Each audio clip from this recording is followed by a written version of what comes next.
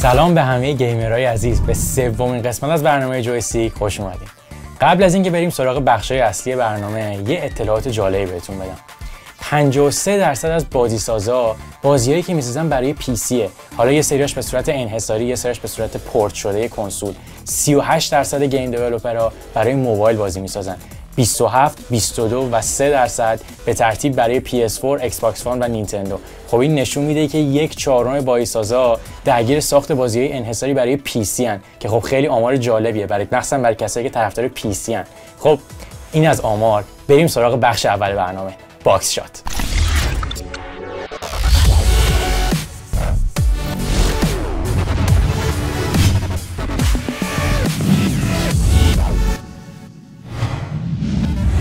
بازی اولی که رفتیم سراغش The World Ends بازی که برای کمپانی Square Enix ه و این version، version remake شدهش برای سویچه. اولین بار برای Nintendo DS اومده بود. سبک این بازی به صورت action RPG که حدودا 15 ساعت هم این بازی gameplay داره. این بازی دقیقا از اون بازیه که استایل خود Square Enix ه دنیای فانتزی کاراکترهای عجیب غریب و کلا gameplay ش برای کسایی که طرفدار این ژانرن خیلی چیز محبوبی می‌تونه باشه. یه نکته در مورد دنیای این بازی. دنیای بازی به دو بخش underground و realground تبدیل میشه که خب هر کدوم خصوصیت های خاص خودشو دارن. بریم یه تریلر ازش ببینیم. تو سال 2008 بود که این بازی خیلی سریع تونست محبوب دل همه نینتندو بازا بشه و هر کسی که Nintendo DS داشت مشغول اون بود. سیستم مبارزه بازی و رابطه بین character ها خیلی باحال و جذاب طراحی شده و چون این یه بازی RPG می‌تونین انتظار کلی قابلیت جور و جور رو داشته باشین که تو مبارزتون استفاده کنین و همینطور کمک همراهتون هم تو بخشای سخت بازی داشته باشین. طرفدارای Xbox منتظر یه بازی انحصاری بودن که کیفیتش خیلی بالا باشه. ولی الان دیگه اون بازی اومده. بازی Forza Horizon 4 سری Forza طرفدارای خاص خودشو داره. اما از وقتی سرکله Horizon تو این سری پیدا شد که حالا هوای arcade و funny رو به بازی می‌داد کلی gamer دیگه به سمت این سری کشیده شدن. امسال هم چهارمین نسخه از این سری اومده و حسابی کولاک کرده. و با گرافیک خیره کننده و gameplay محشرش نگاه همه racing بازا رو سمت خودش کشونده. خب اول از همه از gameplay و گرافیک این بازی شروع کنیم که همونجوری که تو ویدیوش دیدین بی‌نظیره. گرافیکش خیلی خوبه. شاید بهترین رالی باشه که تا حالا اومده. و از اون ور gameplay ش هم خیلی نرم با کلی feature های باحاله. یه نکته جالب در مورد تغییر آب و هوا تغییر فصلا به غیر از اینکه این قضیه روی مسائل هنری بازی گرافیک بازی و محیطش تاثیر می‌ذاره روی gameplay هم تاثیر می‌ذاره که خب ایده خیلی جالبیه. یه سری نکته بگم در مورد challenge های بازی که انقدر دست player رو توی mode ای single و multi باز گذاشتن که player می‌تونه ماها بازی بکنه و همینطور هم محتوای بازی براش باز تازه بمونه. تو نکته آخر Forza اینو بهتون میگم که Metacritic بازی 92 92 یعنی خیلی بالا. و این دلیل کافیه که این بازی رو حتما بخرید. اگر شما هم طرفدار بازی racing هستین فورزا بهترین بازی الان بازار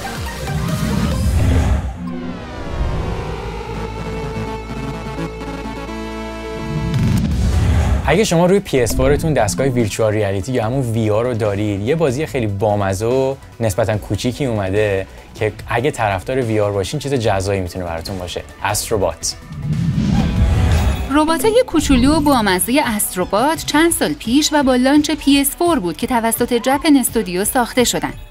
وقتی که سونی PSVR رو منتشر کرد این ربات هم یه جون دیگه گرفتن و به دنیای واقعیت مجازی وارد شدن.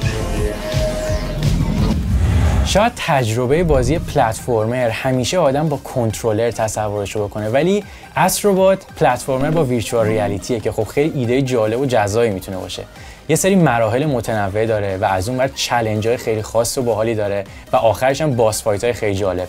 اگه طرفدار بازی platformer هستین و اگه با art style کارتونی هم حال می‌کنید و خب اگه از اون ورم virtual reality برای PS4 دارید حتما این بازی رو از دست ندید.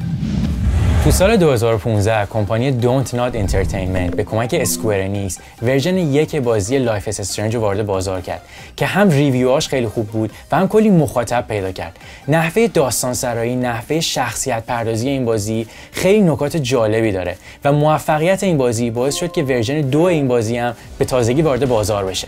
بریم یه تریلر ازش ببینیم. Hey, just the son I wanted to see. okay, step away, now! Calm down. version دو این بازی قراره به صورت 5 تا اپیزود بیاد که قسمت اولش حدوداً 4 ساعت gameplay داره و کسایی که خیلی با این بازی آشنا نیستن باید بدونن که بازی player رو مجاب می‌کنه که تو محیط گشت و گذار بکنه اطلاعات به دست بیاره و با یه سری انتخاب داستان بازی رو جلو ببره. که اون انتخابا یه سری انتخابات حساس و حیاتی هن که روی کاراکترها و روی داستان تاثیر جدی می‌ذارن. این بازی روی Xbox One، PS4 و PC عرضه شده.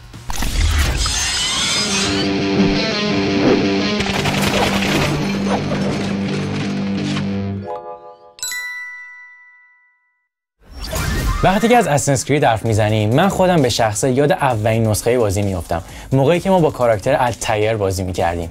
11 سال پیش اولین نسخه این بازی اومد و الان بعد از 20 نسخه در مجموع همه نسخه های مختلفش. رسیم به Assassin's Creed Odyssey، Assassin's Creed ی که دنیا setting ش توی یونان باستانه. بریم با هم stream ش بکنیم. You will need courage. Cunning. Compassion. And commitment.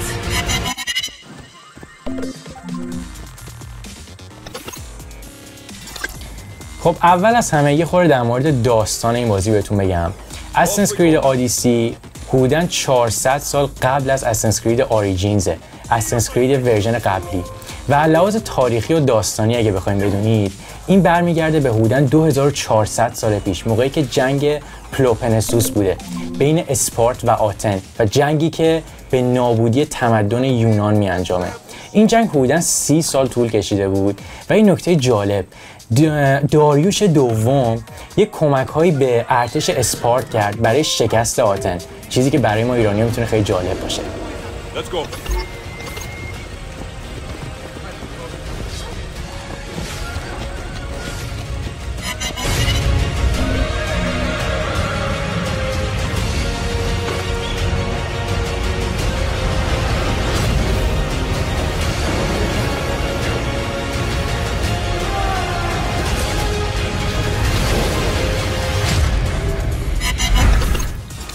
خب یه خورده در مورد gameplay و نحوه combat Assassin's Creed به این بررسی کنیم چجوریه مثل Assassin's های قبلی player می‌تونه stealth بازی بکنه یعنی بدون سر و صدا بره. خب مثلا ما این یه دونه رو بریم مخفیانه بکشیم. و player از اون برم اجازه داره که خب پر سر و صدا هم بازی کنه. مثلا الان یه دونه سوت بزنیم که این توجه enemy ا جلب بشه. و بریم باشون مبارزه بکنیم. چیزی که هستش توی Assassin's Creed اینه که خب دوربین رو می‌تونید lock بکنید روی مثلا یه enemy مثل الان و جا خالیاتون و ضربایی که می‌خوایم بزنید دقیقا فقط روی اون focus بشه. player این option رو داره که light attack بزنه. خب مثل الان ضربه‌ای که الان زدم و از اون برم می‌تونه heavy attack مثل الان بزنه. اینم بزنیم. Okay. در مورد gameplay ش چیزای دیگه ای هم که هستش اینه که توی main menu مثل Assassin's های قبلی player می‌تونه skill tree خودش رو ست بکنه The gods will not always be with you.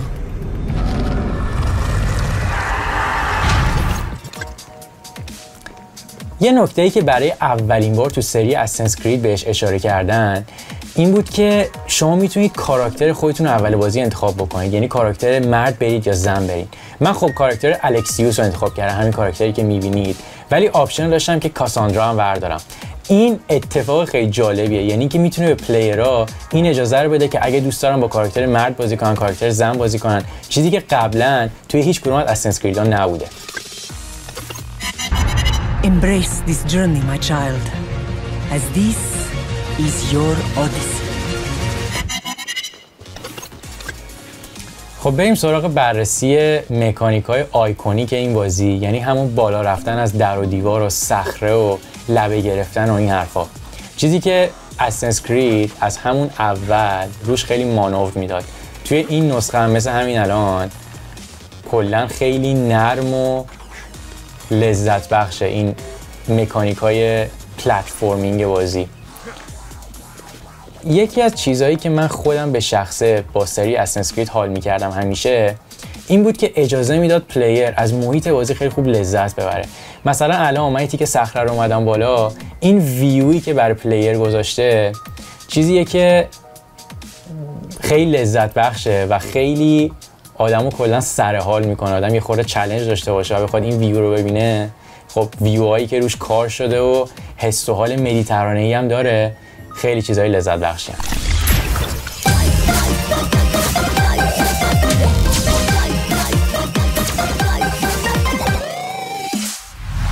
توی نوستالژی این هفته میریم سراغ دهه 90 میلادی. دهه‌ای که اوایلش با اومدن کنسول سوپر فامیکام توی ژاپن شروع میشه و بعدا این کنسول با اسم سوپر نینتندو وارد market اروپا و آمریکا میشه با قیمت 210 دلار. و نکته جالبش هم اینه که همون روز اول sold out شد. شاید بشه گفت که اولین جرقه های جنگ کنسولی تو دهه 90 زده شد. جایی که نینتندو و سگا هر کدومشون سعی می‌کردن واسه کنسول خودشون بازیای بهتری دست و پا کنن تا سود بیشتری به جیب بزنن. و آخر سرم نینتندو بود که برنده اولین مبارزه شد. توی دهه 90 میلادی و با بیشتر شدن پلتفرم‌ها از جمله PC ژانرهای مختلفی وارد دنیای بازی میشن. ما برای بررسی این ژانرها اول رفتیم سراغ fighting. شروع سبک fighting از دستگاه arcade بود اما رو کنسولای خونگی تو سال 93 بود که سری Mortal Kombat و Street Fighter منتشر شدن. بازی Mortal Kombat و خیلی به خاطر fatality های نابش دوست داشتن و از اون برم Street Fighter با super move ای محشرش اسم خودش رو سر زبونا انداخته بود. یکی از مهمترین ژانرهای دهه 90 که کلی game خوبم تو این ژانر ساخته شد first person shooter ه ژانری که gameplay ش از نگاه اول شخصه و اکشن و gameplay خیلی سریع داره.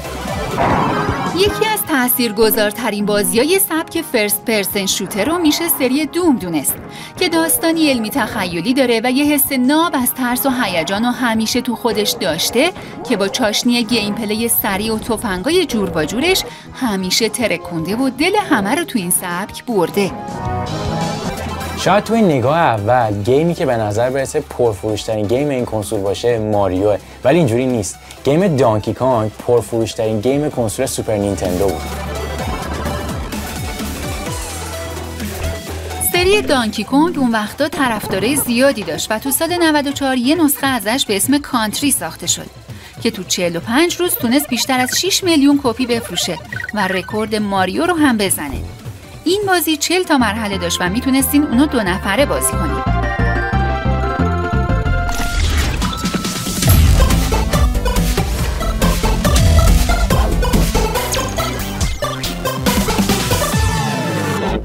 تو سال 2019 قراره یه بازی انحصاری برای پلی استیشن 4 بیاد به نام Death Stranding که کارگردان این بازی هیدئو کوجیماه شخصیت مهمی که سری متال گیر رو خلق کرده. این بازی اولین بازی استودیوی خودشه استودیویی که Kojima Productions اسمشه تو سال 2016 و نمایشگاه E3 بود که Death Stranding با یه تریلر پر از رمز و راز معرفی شد و ستاره سریال Walking Dead نورمن ریدوس قراره که character اصلی این بازی باشه. اواخر همون سال کوجیما یه تریلر دیگه از این بازی منتشر کرد که علامت سوالای بزرگتری رو تو ذهن همه گذاشت و البته دو شخصیت معروف دیگرم معرفی کرد که اولیش گیلر مدل تورو کارگردان معروف و برنده اسکار بود و بعدی هم بازیگر محبوب سریال هانیبال مد میکلسنه. همونطور که توی ویدیو دیدین بازی پر از رمز و رازه و این چیزیه که معمولا توی بازی کوجیما مشترکه. داستان و شخصیت پردازی پیچیده دنیایی که پر از secret و چیزهای عجیب غریبه و چیزهای اینچنینی gameplay بازی قراره به صورت open world باشه و طبق اطلاعاتی که بیرون دادن گفتن کلی المان unique و چیزهای نوآورانه توشه که خب ما خیلی مشتاقیم ببینیم اونا چی هن. gameplay بازی مثل رابطه مستقیمی بین مرگ و زندگی داره و توی ویدیو یه بچه کوچولویی رو تو شیشه دیدیم که مثل اونم یکی از المانهای جدید گیم پلیه تو داستان بازی اومده که اولین ابزاری که بشریت برای حفاظت از خودش استفاده کرده چوب بوده و بعد از اون سراغ تناب برای نگه داشتن چیزای مختلف رفته. و کوجیما به استفاده از این مکانیزم تو بازیش اشاره کرده. تو بازی میشه مشت بزنین، لگت بندازین یا تیراندازی کنین. و تو محیطای بزرگ و وسیع بازی چرخ بزنین و کوهنوردی و شنا کنین و راهپیمایی طولانی انجام بدین. توی Tokyo Game Show امسال بالاخره یکی از کاراکترهای منفی بازی معرفی شد که اسمش Golden Mask ه که احتمالا یکی از boss های بازی هم هست. و این نکته جالب در مورد این کاراکتر صداپیشه‌شه که Troy Baker ه. ما همه این صدا رو می‌شناسیم. Joel توی Last of Us سم توی Uncharted 4 و شاید مهمتر از همه جوکر توی سری بتمن. نحوه کشتن دشمنای داخل بازی هنوز دقیق معلوم نیست. اما اونا اینقدر وحشتناکن که حاضرین خودکشی کنین اما گیرشون نیفتید طبق چیزی که سایت آمازون منتشر کرده بازی قرار 29 مارچ وارد بازار بشه که میشه تابستون سال دیگه. ولی خب این احتمال همیشه وجود داره که تاریخ انتشار بازی عقب بیفته. ولی چیزی که همه مطمئنیم این بازی قرار تو سال 2019 وارد بازار بشه.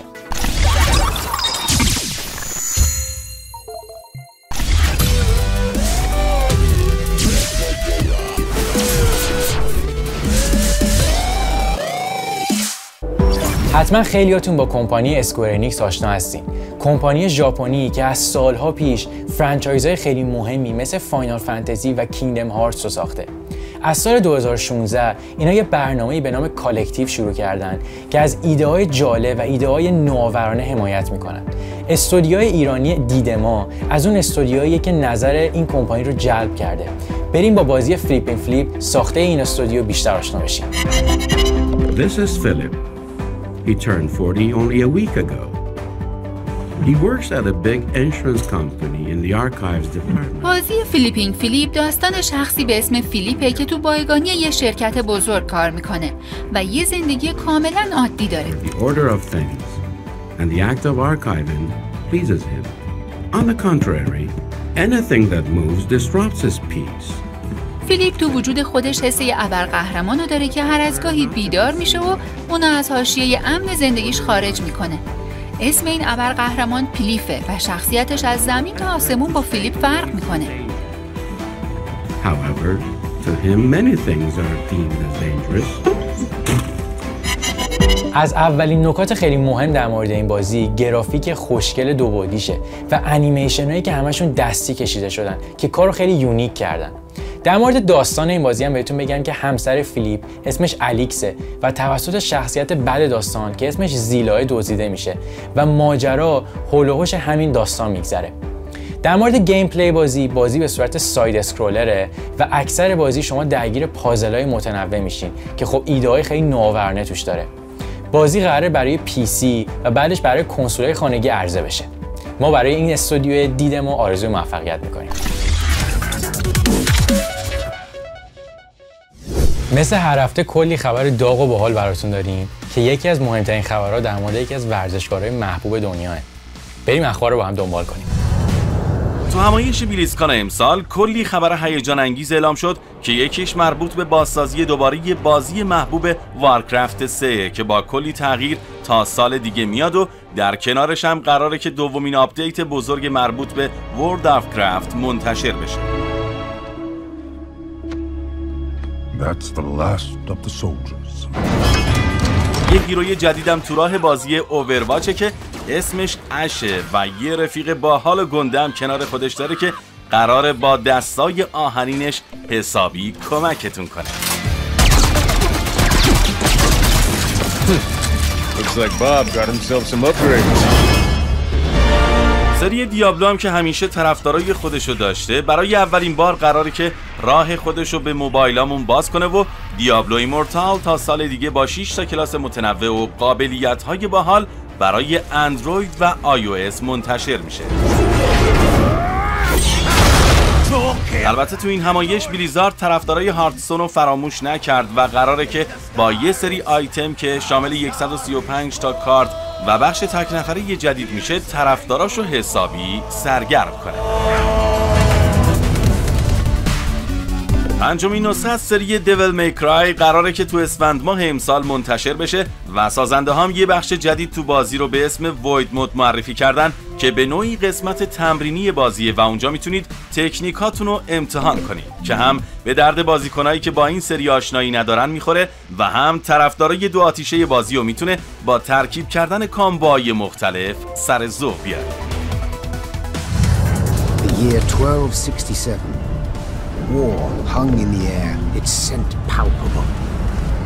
یه خبرم برای طرفدارای سری Witcher داریم و اونم اینه که عنوان Thronebreaker به تازگی برای کنسولای PS4 و Xbox One منتشر شده که البته مدتی قبلم دی پراجکت رد اونو به صورت دیجیتالی روی شبکه استیم قرار داد. از تجربه بی‌نظیر این بازی غافل نشید. A bit of respite, Reynard? Uh, yes. But if you've any new orders, Your Grace, I can be ready at any... چند وقت پیش بود که توی اتفاق عجیب رونالدوی پرتغالی توسط یه خانم متهم به آزار جنسی شد و این خبر همه رو شوکه کرد. اما واکنش عجیبتر و کمپانی ای ای نسبت به این خبر نشون داد و بلافاصله عکس این ستاره پرتغالی رو از کاور فیفا 19 حذف کرد و خیلیام شروع به توییت کردن راجع به این مسئله کردند.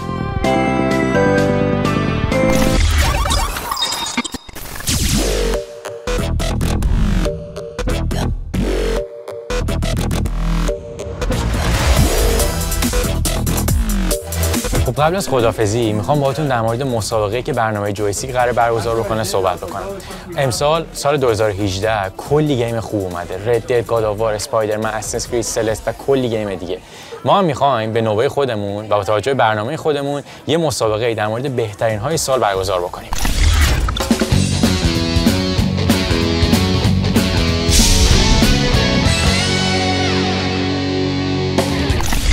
خب در مورد قانون مسابقه. باید از خودتون موقعی که برنامه داره پخش میشه یه سلفی بگیرین. که هم خودتون تو دوربین باشین هم برنامه ما. حالا مهم نیست که برنامه تکراره یا هر جور دیگه این قانون شماره یکه. قانون شماره دو اینه که هشتگ برنامه رو جویستیک تیوی شو باید تو پستتون بزنید.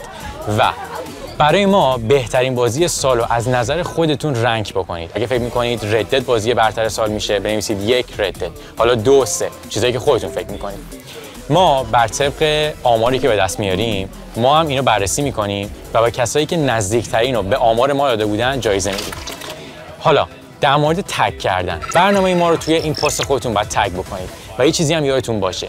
اگه page تون private باشه ما نمی‌تونیم اون عکس رو ببینیم. پس page تون باید public باشه ما رو tag بکنید و هشتگ Joystick TV Show هم یادتون نره.